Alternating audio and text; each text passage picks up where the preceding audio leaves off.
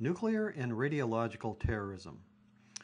The potential forms of nuclear and radiological terrorism include detonation of nuclear weapons, radiological terrorism, as in a suitcase bomb, and sabotage of nuclear facilities. This is also radiological. A nuclear explosion is the most feared because it has the ability to cause enormous instantaneous devastation. It also has persistent effects of radiation that is emitted. The energy of a nuclear explosion comes in three forms the blast, thermal radiation, and nuclear radiation. Let's look at the dynamics of a nuclear blast. The winds have a positive phase and a negative phase. During the positive phase, winds travel outward from the point of detonation.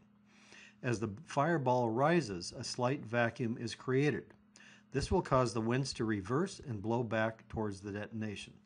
The velocities of this reversed wind are mild compared to the positive phase. The reversal of the winds will keep debris in the air longer and possibly cause more damage.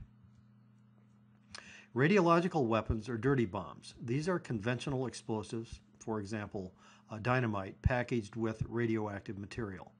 It's not possible to dispose of radiological agents, the only time you can totally eliminate the hazard. It's not clear if terrorists can handle and detonate high grade radioactive material without fatally injuring themselves. The morning after a nuclear weapon has been used, the rules of warfare throughout the world will be profoundly transformed. Democracy cannot survive if a nuclear bomb is detonated in Paris or Manhattan. Fred uh, Eckel.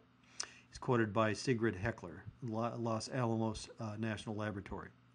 The most urgent unmet national security threat to the U.S. today is the danger that weapons of mass destruction or weapons usable material in Russia could be stolen and sold to terrorist or hostile nation states and used against American troops abroad and citizens at home. This is uh, former Senator Howard Baker and Lloyd Cutler, January 2001.